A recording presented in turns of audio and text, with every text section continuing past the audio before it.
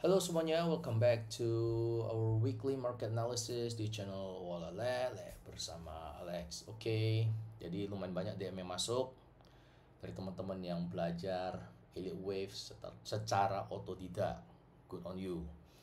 Um, mayoritas pertanyaannya kayaknya Elite Wave tuh banyak banget kayak plan A, plan B, plan C, plan D, plan E, plan F dan segala macamnya. Bingung mau yang mana gitu loh. Tentunya bagaimana sih. Jadi kalau saya sih tipsnya Anda kembali tetap kembali ke major, major yang utama, kayak misalnya weekly kan, kita kembali ke DOG.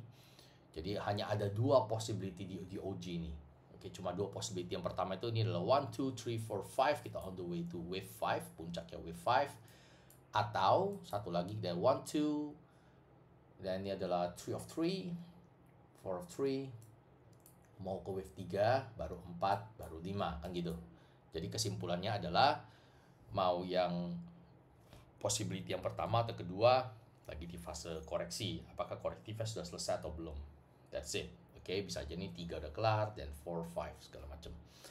Alright, jadi cara ngitungnya kalau saya adalah uh, ini satu dua tiga empat nggak usah dipusingin. Yang penting kan ini sekarang. Oke, okay? so we have wave three here. Jadi one two three wave 3 itu di elite wave ada 3 poin yang paling penting adalah 1618, 2618 dan 3236. Massive rejection ada di sini. Oke, okay, 2618. And wave 4-nya cakep banget. 3 ABC 4 dan we're on the wave 5. Jadi WXYXZ ini adalah double combo. Oke, okay, dua nasi empat ayam. Gak usah dipusingin, ini ada alternate-nya saya. Saya udah mention di video-video sebelumnya ini big bullish flag. Ini alternate bukan primary. Oke, jadi secara teori elite wave untuk mengukur wave 5 itu ada tiga cara. Yang pertama adalah wave 5 akan sepanjang wave 1, which is um, udah nggak mungkin, nggak make sense karena wave 3-nya panjang banget. Oke, okay? panjang banget. Jadi kalau wave 5-nya sepanjang wave 1 itu nggak ada new high. Artinya bantet gitu loh, nggak masuk akal. Jadi sisa dua kemungkinan, sisa dua teori. Yang pertama, teori kedua adalah Wave 5 itu adalah inverse dari uh, Fibonacci retracement dari wave 4. Jadi ini wave 4. Ini wave 4. Pas belum sih? Kira-kira segini lah, wave 4, oke. Okay? Jadi uh, inverse retracement itu maksudnya nolnya di bawah. Jadi kalau yang retracement normal kan nolnya di atas. Kalau Anda ngukur retracement kan nolnya di atas kan, berarti 382, 50, 618, 786, uh, koreksi Fibonacci retracement. Jadi inverse terbalik uh, retracementnya itu berarti nolnya di bawah. Simpelnya gitu aja. Jadi wave 5 itu akan jatuh di antara zona 1.236 sampai 1.618 oke. Okay. dan cara ketiga untuk mengukur wave 5 adalah wave 5 akan sepanjang wave 1 sampai wave 3 diukur dari dasarnya wave 4 jadi kita lihat ini wave 3 wave 3 nya di sini kira-kira. Oke okay, wave 3 nya di sini wave satunya di sini. Alright, and then nolnya tuh saya pindahkan ke wave 4. Nah, gitu loh. Dia di 61,8. Oke, jadi 61,8 itu di sini. Alright. Jadi 61,8 masuk dong ke zone yang ini. Oke, bukan magic. Dan ini udah dapat. Berarti kan uh, secara projection ya yang kita pakai adalah ini adalah 1 2 3 4, 5 barulah kita akan melihat big retracement retracement yang gede. Mungkin di sana ya sekarang kayak udah banyak isu-isu ekonomi kan di US segala macam. Ada ngomong dedolarisasi. Bisa jadi nanti US tiba-tiba keluarin satu entah satu berita atau apa uh, dedolarisasi nggak jadi segala macam. Lalu dolar ada kebijakan apa segala macam. The Fed keluarkan kebijakan yang sesuai dengan harapan ya pelaku pasar dan dolar kembali menguat bam bam bam bam bam. Lalu emas korektif ya ya berita-berita seperti itulah. So jadi kita sekarang ini big view-nya ya. Oke okay? jadi kalau kita zoom in kita zoom in ke daily or six hours. Let's see if our minor counting bisa match ini. Oke, okay, di minor counting, ini minor counting ya. jadi kita ini, berarti ini adalah wave 1, ini adalah wave 2. Oke, okay. switch back to daily. Oke, okay. back to daily. Let's check it out. so the trickiest part is, we need to find where's 1, 2. Oke, okay, verse 1 2, right? Verse 1 2. So kalau misalnya kita lihat di sini, ini wave 2-nya di sini berarti wave 5-nya kan sampai 2497. Sementara berdasarkan pengukuran ini, wave 5-nya itu akan jatuh di 2200. Alright, then I'm not saying this. Let's zoom in a bit more. Aha, we found this. This is the one two. This is the one two okay. Okay this more makes sense. Okay this more makes sense matter counting. So that that's how I adjusted my waves calculations. Dari major dan di minor itu kita lihat uh, angkanya itu yang masuk ke kalkulasi major. Itu menjadi nanti menjadi proyeksi kita menjadi paduan kita. So here kita ada satu dua okay? One two one two three of three four of three and we're we're marching to towards wave three. Okay wave three okay and right now undoubtedly we are on corrections to wave 4 jadi kalau misalnya kita wave 3 nya extend ke 2 berarti wave 4 nya extend ke 1.382 then we push up to wave 5 okay? And then if we see the wave 5 kita tanda tadi 2500an ya 2200an oke okay masuk masih make sense gitu. Karena wave 3 nya kan extend. Jadi berdasarkan kalkulasi yang major tadi dan I might I'm seeing this well something like this could happen based on um, these major calculations. Like this. Wave 5 alright so intraday trading for the intraday saya masih perlu one more low of course. One more low untuk complete ABC right now kita sudah ada A B and C. So if I want to buy this if I'm going to enter my position buy positions jangan salah ya bukan sell ya. Kalau teman-teman kayak oh ini masih bisa one more low jadi bisa sell. No. Eh eh eh, eh, eh salah. To use this pivot retracement okay this ABC ABC is on this area 1.618 which match the level of the corrections area di sini. Okay, jadi it might push down to this area. Where's the zone? Okay. This zone this is the level I'll I'll be looking on my next buys and di sana kalau misalnya kayak berdasarkan major aja sih holdnya sih saya rasa sayang gitu. Kalau hold sampai 2200 kalau di fisik ya di sini harga yang bagus untuk nambah nambah nambah di fisik. Karena nggak kena swap kan. Karena anda udah bayar di depan agak mahal dari harga spot. Cuman kalau misalnya di spot market seperti ini anda hold terlalu panjang seperti ini ya di swapnya itu lumayan mahal gitu loh. Jadi kalau saran saya sih dari area sini nanti di area sini you might you might um, take a close look closer look. Tergantung sistem anda apa mau pakai indikator boleh mau pakai teknik apa pun bisa. Tapi kalau di sini saya akan cari rejection um, seperti ini. You have another five waves up three waves down as usual. So I can place my buys and place my stop loss.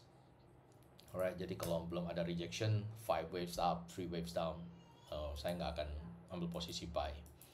Okay that that is the most conservative ways um, bisa lebih terkontrol lah nggak nebak-nebak gitu artinya posisi yang anda masuk itu berdasarkan hitungan berdasarkan teori. Jadi kalau misalnya anda salah ya if you have to be wrong then you gonna be wrong okay? It is what it is. Um, duit anda itu nggak ketarik tarik kayak top up top up top up tanpa arah yang pasti nggak ada gambling ya gitu. Alright I think that's it for this week. Sekalian penjelasan cara ngitungnya oke okay? ini yang double combo ini alternate saya oke okay. Last discussion sebelum video ini berakhir adalah gimana Pak Alex Bro kalau misalnya double combo ini on effect, oke, okay? rupanya double combo ini alternate ini yang bekerja, bukan impulse yang tadi. Dan saya mau lihat, uh, berarti implant ini kan bakal terinvalidasi toh. Kalau misalnya turun, kita akan melihat banyak candle merah. Oke, okay, this is another one two. Let's let's scroll down. Di sini saya nggak lihat, oh ini ya nggak lihat 5 waves down ya. Scroll down oke okay? nggak kayak this 1 2 3 4 5 ABC let's see. I don't see 5 waves down yet. Saya nggak lihat belum ada lihat 5 wave ke bawah sih. Kecuali ini minor sekali ini ada. Let's check. This one so this is 5 waves down and 3 waves up. Oke okay, ini ada 5 waves down 1, 2, 3, 4, 5 A, B, C. Okay this could be A, B or 1, 2 tapi kalau misalnya tadi kita ngomong A, B, C kan ini kan ini lebih masuk ke A, B, C sih saya bilang. Kenapa ini 5, 3, 5 jadi A B lalu C gitu kan. A, B, C. Jadi um, nggak 1, 2 oke gimana sih bro bisa tahu ini bukan 1, 2 kalau ini adalah 1, 2 harusnya dia seperti ini. Jadi udah habis one two begini kan. Ini magnet tak mati dulu magnetnya rese banget kadang kadang berguna kadang mengganggu. Oke nah kalau one two itu kan harusnya begini. Dan kita mau lihat dia gini lagi sekali lagi. Uh, gitu loh. Atau gini terus atau gini di 618 di, di level 618 ini gitu loh. Tapi ini jauh banget ya sampai sini gitu alright so this could be ABC alright ABC and then anda lihat dia jatuhnya itu di level antara range 1 sampai 1.236 do you see that?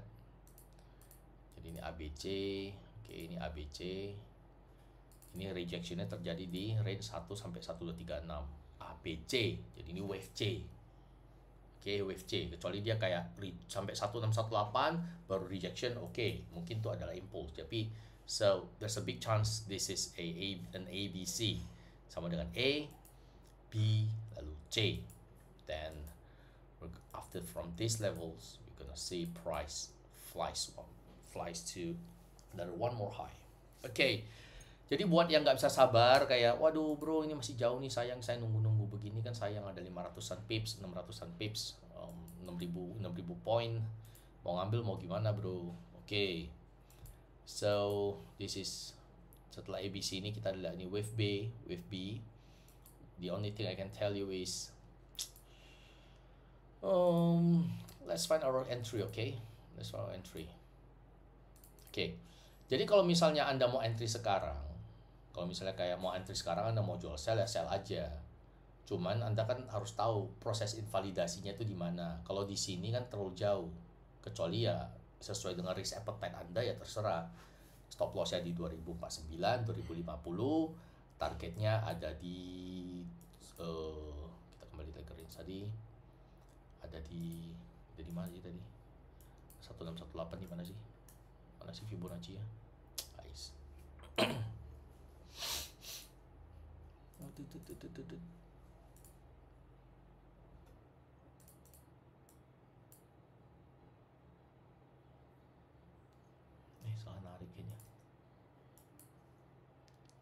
sorry sorry nah ini dia ah ada di ini. Ada ini ya. Ini kan ini sama ini. Oke ada di sini. Ah, satu empat ini. sembilan delapan. Oke kalau anda sell sekarang kan um, stop lossnya segini satu banding dua sih. Cuman ya tergantung lotnya sama risk risk and reward anda itu sesuai apa enggak. Kalau saya kalau saya kalau saya mau sell sekarang sih saya nggak ada appetite sell. Nggak ada yang cakep sih. Kayak zigzag zigzag gitu gue nggak suka. Kayak ini oke okay, nggak ada nggak jelas nih ABC dan ada another A. If this another A kalau ini another A and then we should find the B.